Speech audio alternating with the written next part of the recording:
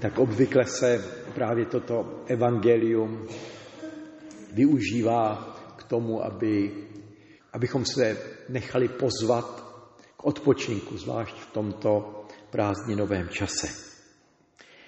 A myslím si, že to je opravdu důležité, abychom využili ten čas eh, k odpočinku a k vydechnutí a tak dále a tak dále.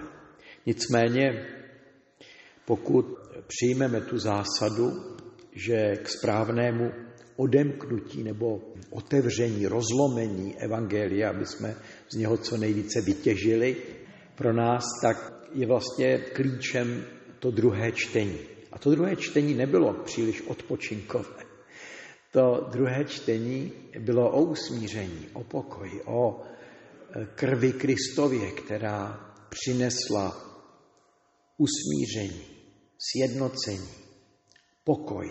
To slovo pokoj se tam několikrát opakuje, proto můžeme říct, že e, to odpočinutí v biblickém slova smyslu spíše jakési spočinutí, které e, je blízko prožívání nějakého vnitřního pokoje, smíření.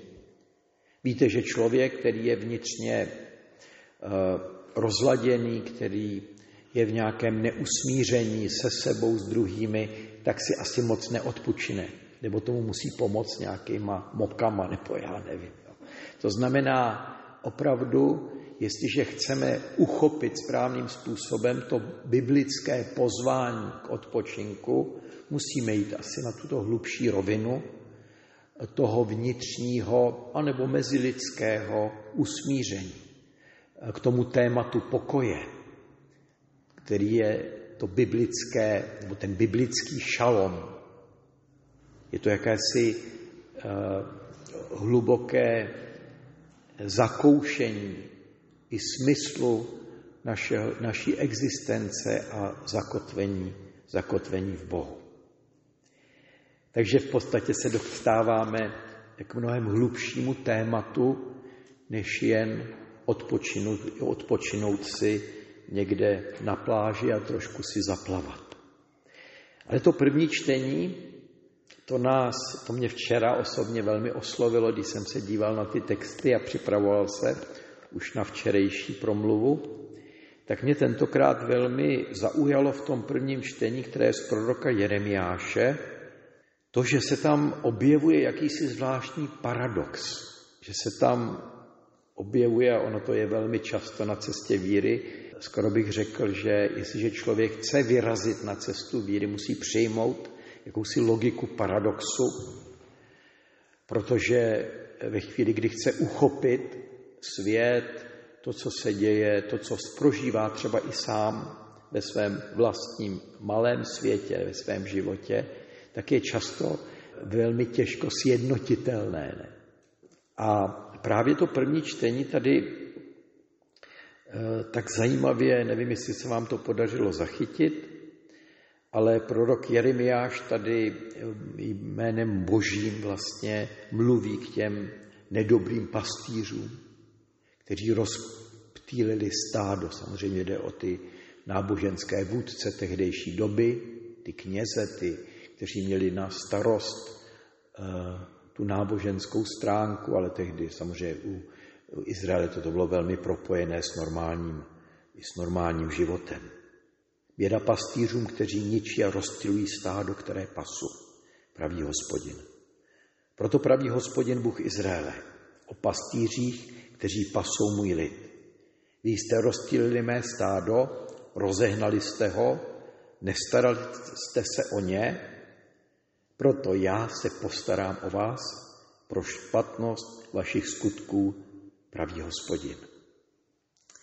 Samozřejmě možná, že by bylo možné to přečíst tak jako, že to eh, prorok Jeremiáš říká tak trochu ironicky. Vy jste se nestarali a já se teda o vás postarám. A to teda uvidíte. To vám budou, to uvidíte, jak já se o vás postarám. Ale myslím si, že zvlášť když se podíváme na to druhé čtení a vůbec na logiku spásy, tak to nestarali jste se o ně. proto já se postarám o vás pro špatnost vašich skutků. Myslím si, že spíše to je jeden z těch eh, principů logiky spásy. Protože on posílá Bůh svého syna, aby nás vykoupil. A to ne, protože jsme spravedliví a ještě tehdy, když jsme byli hříšníci. To znamená, Bůh jako kdyby se stará o nás pro naše nepravosti. Proto, jak jsme udělali něco špatně. To je jeden z těch velkých paradoxů, který mimo jiné zaznívá, eh, víte, ta Faustina Kovalská, jak se setkávala eh, s Ježíšem mystickým způsobem a on k ní promlouval, tak jedna z věcí, které jí také říká, čím větší hříšník, tím větší právo na mé milosedenství. To je zajímavé. Jako kdyby ta cesta Boha, ne? Ježíš to také říká, lékaři nepotřebují zdraví, ale nemocní. Nepřišel jsem pro spravedlivé, ale pro hříšníky. Vlastně vede tady tím způsobem. Bůh neposílá svého syna proto, že jsme tak dobří, ale proto, že jsme tak hříšní. Samozřejmě to předpokládá a myslím, že bychom mohli ten text přečíst i tímto způsobem. Jestli uznáte svou nepravost, já se o vás postarám. Právě pro tu nepravost. To je zajímavé. Já jsem tady mluvil také o té jedné mé zkušenosti, kterou jsem udělal v rámci jedné duchovní obnovy, tady, co probíhala v Emauzích.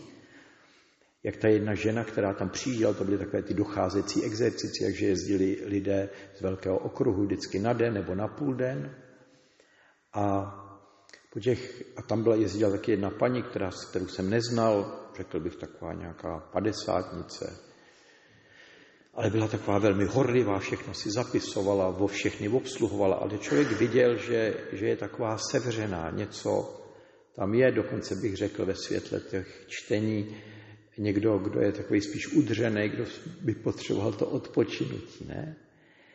Ale na konci té obnovy za mnou přišla, nebylo to ve spovědi, ale říká, má oče a najednou byla úplně jakoby proměněná, byla plná síly, světla, dokonce bych taková rozkvetlá. Říká, oče, tak já jsem pochopila, že po 20 letech to že, to, že jsme se s manželem rozvedli, za to můžu i já. A najednou jsem před sebou viděl opravdu člověka, který už není tak sevřený, upachtěný, ale najednou rozkvetlý. A to je to.